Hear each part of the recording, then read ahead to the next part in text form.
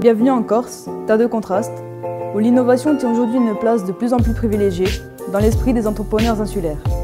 Innover, pourquoi, comment? Nous partons à la rencontre de la Corsican Tech, un accélérateur d'initiatives innovantes constitué d'un pool de start-up et d'un club d'open innovation. Zoom sur trois entreprises bastiaises au concept novateur.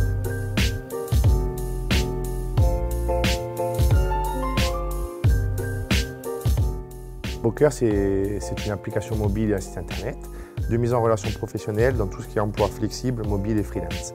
L'idée, c'est de, proposer une base de données de talents dans laquelle les recruteurs vont pouvoir venir piocher et contacter directement. Je pense qu'on est plutôt l'innovation sociale ou l'innovation de service. On vend un nouveau comportement, un, une nouvelle vision de, la pratique d'un emploi et, c'est pour nous encore plus important que l'innovation technologique. Le chiffre le plus important pour nous, c'est la taille du marché. Hein. Donc ça veut dire qu'on est sur euh, quand même 18% de, la population européenne qui euh, aujourd'hui pratique un emploi flexible, mobile ou freelance.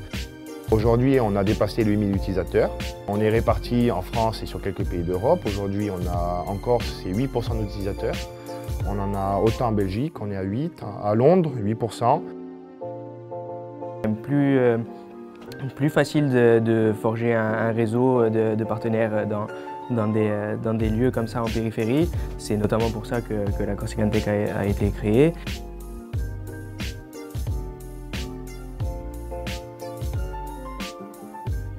Il faut aimer un peu l'incertitude et, le risque pour s'en sortir dedans. Donc je considère que c'est plus des, compétences humaines que, que, vraiment professionnelles. Et pour perdurer, on se reverra dans un an ou deux. On vous expliquera.